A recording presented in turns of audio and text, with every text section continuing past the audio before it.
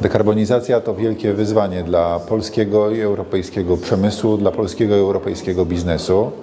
W pracodawcach RP staramy się pokazać, że dekarbonizacja może być źródłem poprawy konkurencyjności, a nie utraty tej konkurencyjności, że może być źródłem kreatywności w tworzeniu nowych produktów, w wymyślaniu biznesu na nowo, a dla tych firm, których choćby procesy chemiczne, technologiczne uniemożliwiają takie podejście do dekarbonizacji, staramy się zapewnić wiedzę zarówno na temat sposobów raportowania, jak i na temat sposobów na zmniejszenie śladu węglowego. I robimy to ze znakomitymi partnerami, wśród nich jest Instrat, wśród nich jest Chemetica.